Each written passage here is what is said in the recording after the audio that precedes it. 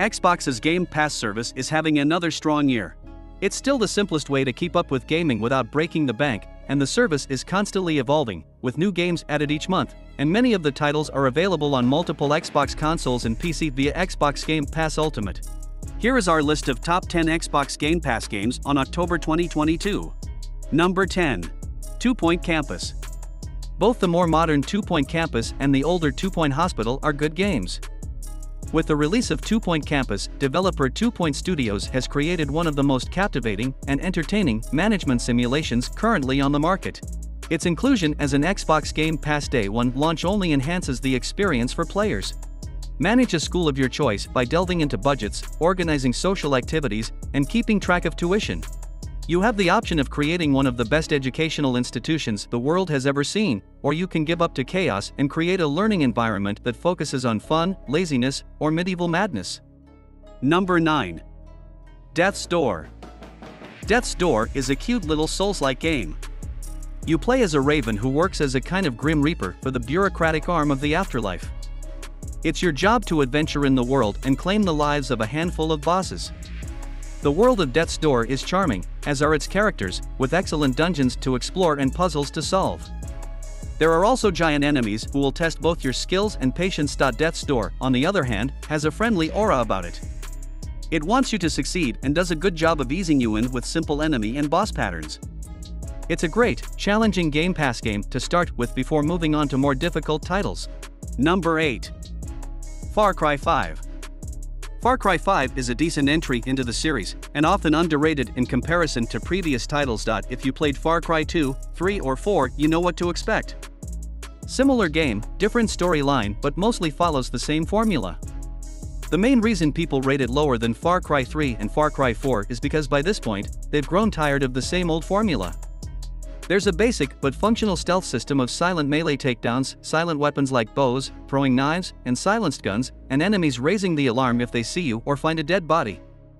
You can conquer outposts either by going in slow and methodical, or you can just storm in guns blazing and mow everyone down with an MG.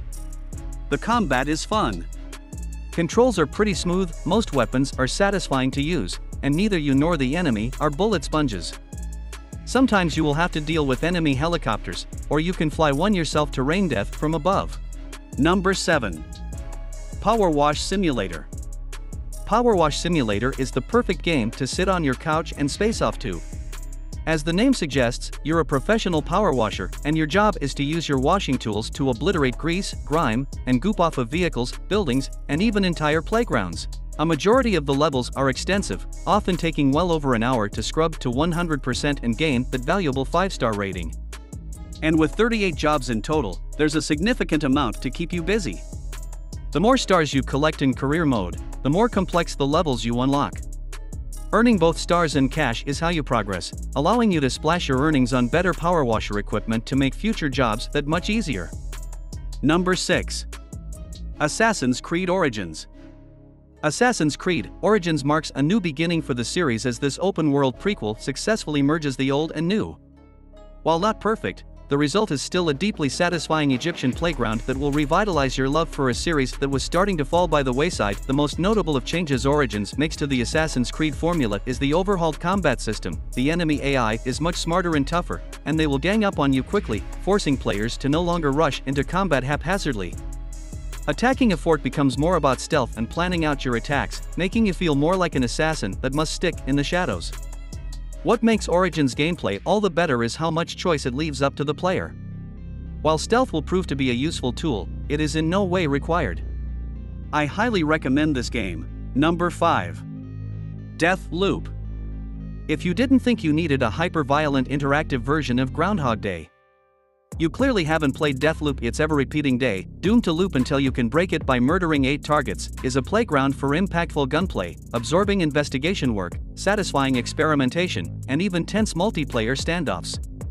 Developer Arkane Studios' precise calibration of these pieces make Deathloop an intricately built clockwork machine that doesn't so much quietly hum, but rather confidently roars despite using a live, die, repeat structure. It's best to think of Deathloop as a temporal Metroidvania rather than anything close to a roguelike. Its chief currency is information. As you chase down objectives and unearth new leads, you'll discover clues that help you to unlock doors and exciting new opportunities in areas you've previously visited, both in time and space. Those areas are, in Arkane tradition, intricately detailed and dense with personality. Number 4. Stardew Valley.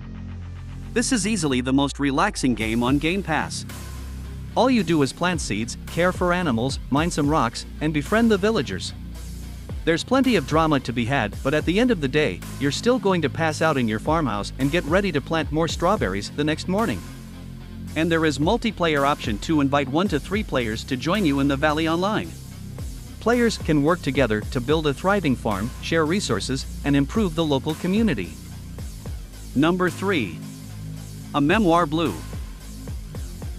A Memoir Blue was developed by Cloisters Interactive and the game describes itself as an interactive poem about a superstar swimmer whose incredibly close relationship with her single mother shapes her dreams, aspirations, and life. Across six chapters, protagonist Miriam explores her upbringing through deeply allegoric and metaphorical means as she dives deep to uncover, unlock, and reconstruct memories she loves, barely remembers, and has occasionally tried to hide. In terms of expectations, the poem element the developer promises may not be what you expect there isn't a single word uttered by the lead characters. Admittedly, it's kind of the point, something cleverly proved later in the experience, but the label doesn't accurately portray what a memoir blue is for those buying this game expecting a more literary adventure. Number 2 Inside Inside is the second of Playdead's minimalist side scrollers. Whereas Limbo, the studio's first game, showcased the dangers of nature, Inside is all about the horror humans can inflict upon one another you play as a small boy in a red shirt investigating a giant factory slash secret lab.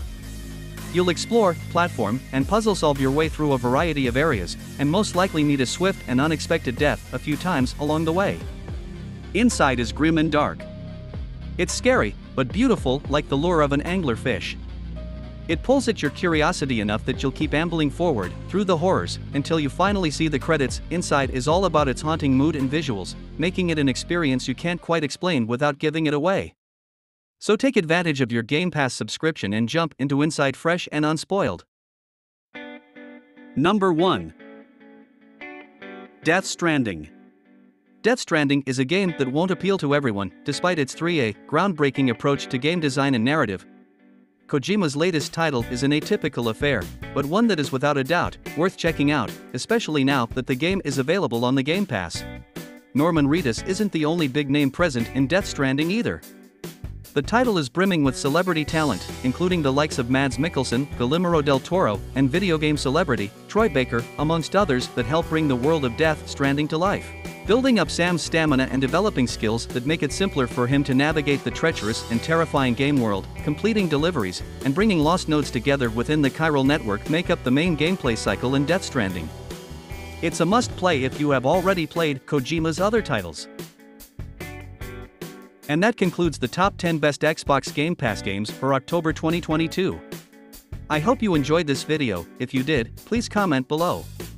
Smash that like button to show your support for the channel, and if you're new here, why not subscribe?